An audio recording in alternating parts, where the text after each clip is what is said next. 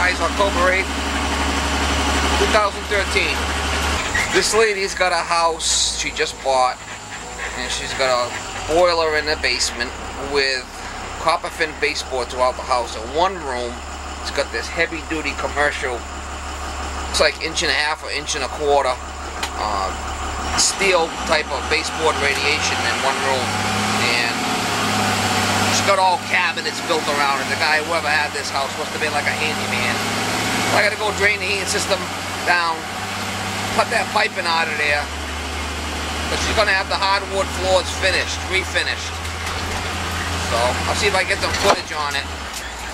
Kind of odd to see that kind of baseboard in a house. So once the floor's all refinished, I'll go back and I'll put some copper fin, uh, you know, conventional copper fin baseboard back and um, get their heat going. It's not that cold here, so they don't really need the heat for a couple of days.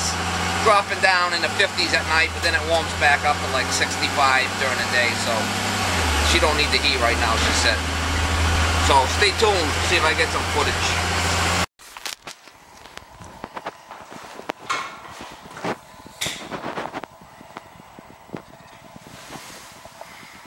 Inch and a half heavy duty baseboard There was a heat, it was a, uh, dresser here. This is inside a house. I gotta cut all this out so we can redo the floor and put all copper fin back.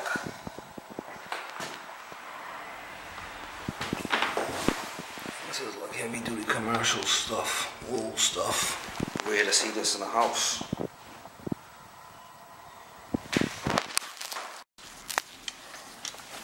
A McLain gas fired boiler. 80% into the chimney.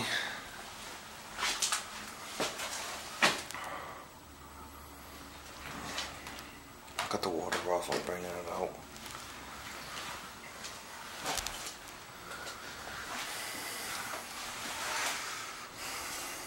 Mine goes up here, copper, I'll cut that here.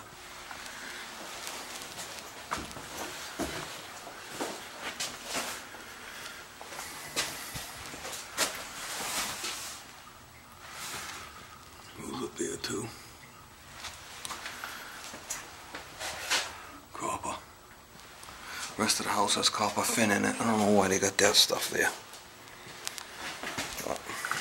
Got the boiler off.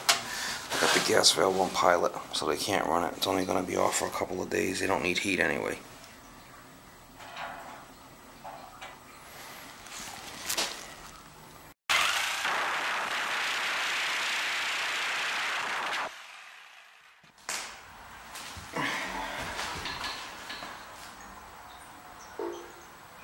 Tipping it to get rid of all the water.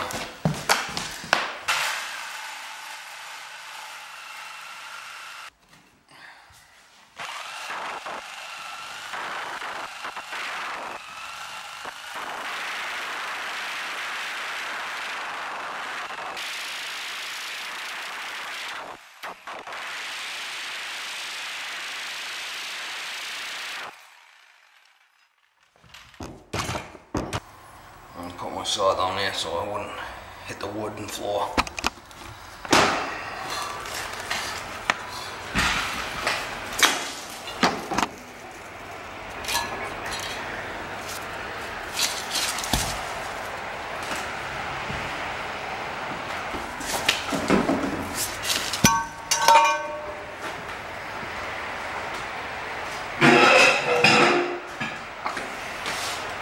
Heavy bitch.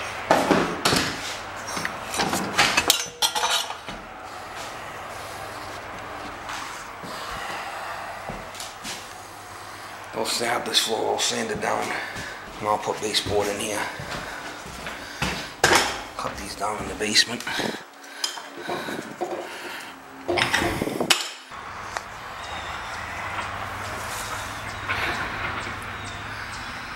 Oh, inch and a half. Actually, inch and a quarter. You can tell it's inch and a quarter if you can touch your two fingers together. It's inch and a quarter. I just threw it out the window. Something else inside a residential house. Unbelievable. They're gonna do is um They're gonna sand that floor down in there, refinish it, and then I'll put regular baseboard in there.